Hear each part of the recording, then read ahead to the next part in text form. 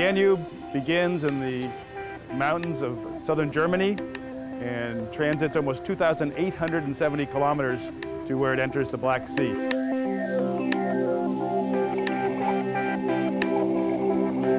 One of the biggest problems faced by the Danube is the excessive input of nutrients, nitrogen and phosphorus, into the system really over about the last 50 years. This really began with the Green Revolution that took place in the 60s and 70s where you saw skyrocketing application and use of artificially prepared fertilizers and this led to a huge increase in the load of phosphorus and nitrogen to the Danube and ultimately to the Black Sea.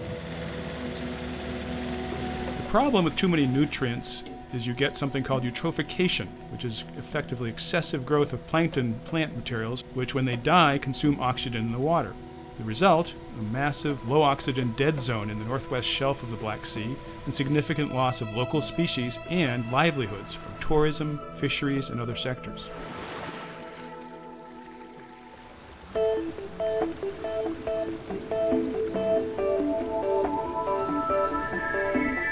UNDP, we took a three-step approach to trying to help the Black Sea Danube countries restore this critical ecosystem. First was the identification of the main pollution sources. Second was development of an investment portfolio to help make the necessary investments to clean up these pollution hotspots. And third was support to policy and regulatory and institutional reform to strengthen the institutions needed to manage and improve the Danube and the Black Sea. A critical element of UNDP GEF support was strengthening cooperation between the 17 countries that share the Danube Black Sea Basin by building the capacity and promoting the sustainability of the emerging Danube and Black Sea Commissions and their secretariats. The Danube River Basin is the most international river basin in the world. There's no other river basin with so many countries. Without the UNDPGEF support, it is clear that the countries of the region would not have been able to come together and organize themselves in the framework of the uh, convention, the Danube River Protection Convention, and in particular to have the kind of commitment that exists to this institution, which is worldwide recognized as uh, uh, one of the best examples of transboundary water cooperation. We're standing in front of the wastewater facility of the city of Sarajevo. This was heavily damaged during the Balkan conflict in the early 1990s. And although it did treat the water previously because of the conflict, that treatment capacity was pretty much lost.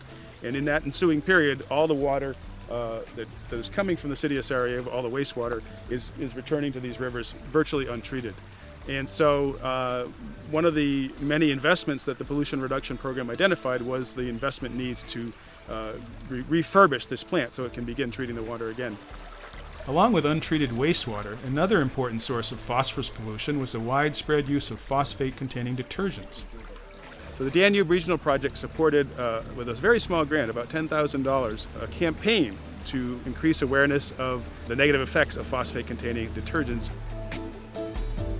We shared 20,000 leaflets uh, in the front of shopping center to ladies when they go inside and uh, we create a list of detergents which is uh, environmental friendly, which is not. We just trying to, with small change in people behaviors when they go to shopping and uh, choosing detergents.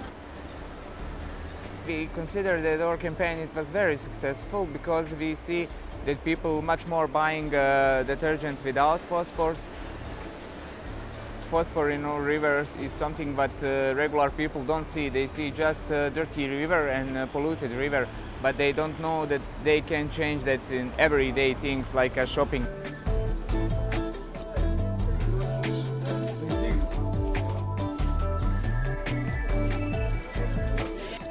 Kad pada kiša, pošto ovde ima velika osočna jama dole, trebalo je da se sve sliva unutra i odavde da se crpi osoka, a odande, od napred da se utovarivačem tovori taj stajnjak i da se odnosi na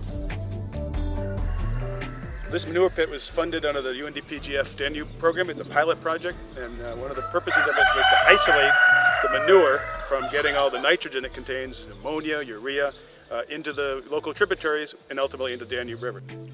This is so critical to the Danube because something on the order of half the nitrogen that reaches the Danube is from farming practices, both excess use of, of fertilizers, but also inappropriate management of manure.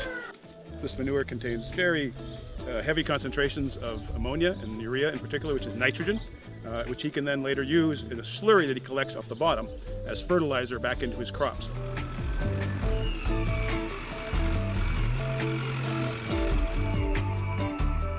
So here we can see the results where the farmer has applied the manure slurry correct, collected back at the farm to this amazing crop of uh, sugar beets, very productive, very bountiful crop. And so basically by using the manure slurry, this farmer has been able to reduce his, his use of um, conventional fertilizers by as much as 70%.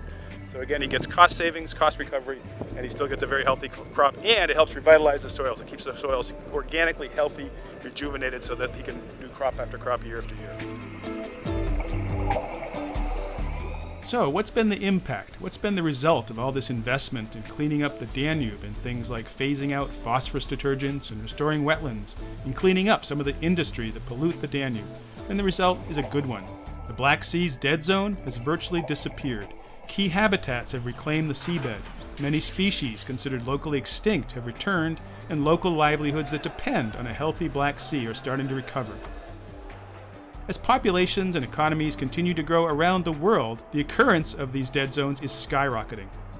The restoration of the Danube River and the Black Sea represents one of the first successful reversals of a dead zone, with many valuable lessons and experience for other regions to draw from.